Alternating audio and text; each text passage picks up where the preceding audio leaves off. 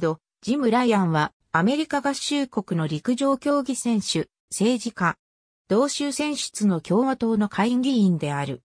1947年4月29日に中部のカンザス州ウィチタに誕生した。カンザス大学を卒業しており、宗教は長老派である。アン夫人との間に4人の子供がいる。1966年に1マイルで世界新記録。翌1967年には1マイルで再び世界記録を樹立するだけでなく、1500メートルでも3分33秒1の世界記録を樹立している。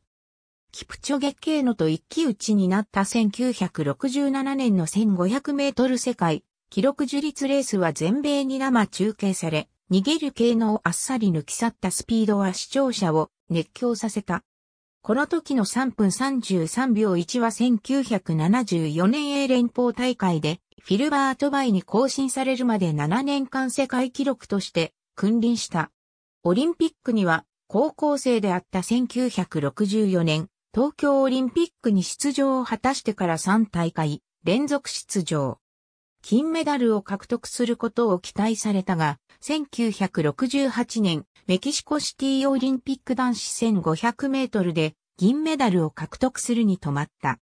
メキシコオリンピックでは金メダル確実と思われたが、ベンジプチョ、キプチョゲケーノのケニア勢作戦レースにしてやられ、それまで再三対戦し一度も負けたことのないケーノの逃げ切りを許し、コーチ五輪番狂わせの象徴となった。そして自分に失望したのコメントを残し21歳だったが、あっさり引退してしまった。しかし、故郷を中心に復帰を望む署名運動が起こり、ライアンもそれに応えて1970年にカムバックを表明ミュンヘンを目指すことになった。失ったもののすべてではないが多くは取り戻したと思う。として臨んだミュンヘン五輪全米最終予選ではエムリクオリに続いて2着だったが僅差で両者で年度1位2位の好タイムを叩き出した。もともと勝負強クラスとのキレは他の追随を許さないスピードを持っているだけに再び優勝候補としてミュンヘンに乗り込むことになった。